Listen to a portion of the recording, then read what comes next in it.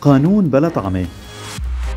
أن يدحش الرئيس بري بقانون انتخابي جديد باعتماد لبنان بوسطة انتخابية واحدة للإتيان بالمجلس النيابي خارج القيد الطائفي فذلك غير مستغرب. فالقوى الطائفية العددية تطمح لتعزيز نفوذها تحت مسميات وطنية خادعة لكن أن يؤيده الحزب التقدمي الاشتراكي فذلك يدعو إلى الاستغراب خاصة أن كل القوانين السابقة أخذت في الاعتبار عدم تذويب الدروز في دائرة ذات أكثرية مسيحية. فكيف سيقبلون بالتذويب في دائرة ذات أكثرية شيعية؟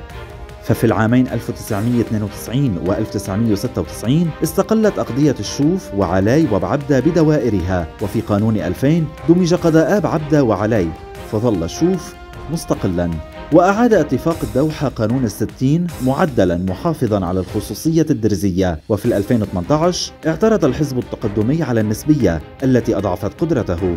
ولتبرير موقفهم يعود نواب الحزب التقدمي 45 عاما إلى الوراء ويستذكرون المعلم كمال جنبلاط. الذي كان سباقا في الدعوة إلى إصلاح التمثيل الشعبي.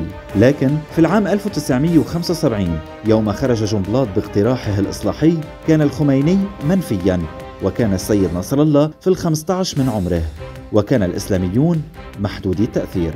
لذلك من المهم أن يعود الرفاق في الحزب إلى طروحات المعلم كمال جنبلاط وفكره السياسي من وقت إلى آخر وهو من نادى في الخمسينات بالفيدرالية.